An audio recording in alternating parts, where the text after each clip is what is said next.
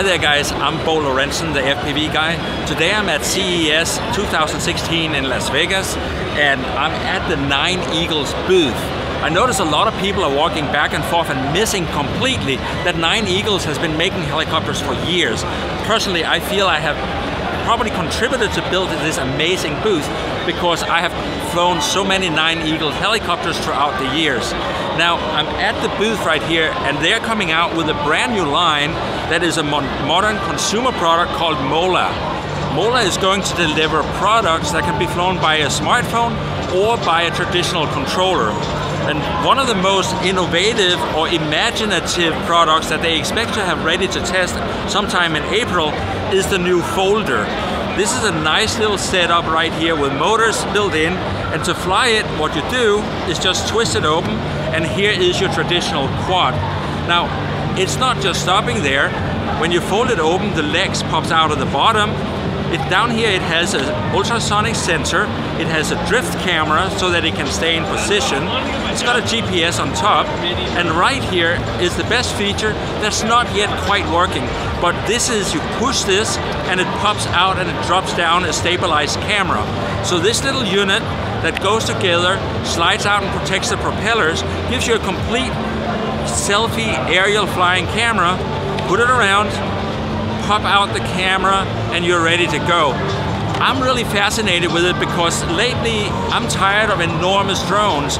These are becoming appliances. This is something people going on vacation are going to be buying. Not people like me that is a drone enthusiast. I know how to fly these things, but most people do not know how to fly these things. And because of that, the Mola brand is going to be bringing a lot more convenience to those people. Now, this is of course the innovative thing really looking into the future. Let's look a little closer to now. They have a couple of other ones I like. There is a small entry-level multi-rotor here. It's a quad with a three-axis gimbal and the usual suspect. You push in and out batteries. Really not a whole lot of new here. It is nicely made. It's gonna be flying nicely.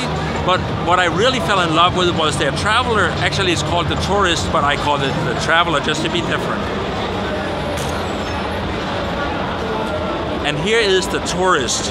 What is cool about the Tourist, I mean, all right, somebody has been looking at the Inspire, but unlike the Inspire, this thing is incredibly light. It's 900 grams. Up on top here, we have the pop-out battery. It goes right down and gives it a little short of 20 minutes. I'm guessing reality is gonna be 15 minutes.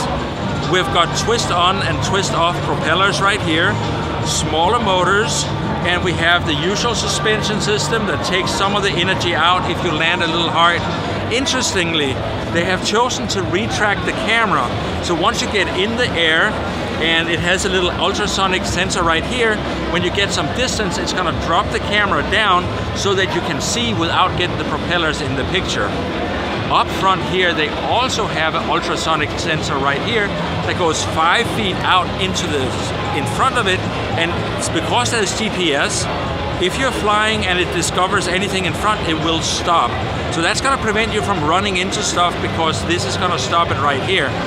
Now, the other thing I'm a sucker for because these things are so hard to travel, and I know a lot of you guys using Phantoms and Q350s and so many other units. The hardest thing is traveling with them. You end up with these enormous backpacks. And this, I'm just gonna unscrew this completely. Look, notice that little sleeve here? I'm gonna do it again on this one. I'm actually getting a workout from undoing all these. Folds right up here, folds down here, Let's do the other side too. There.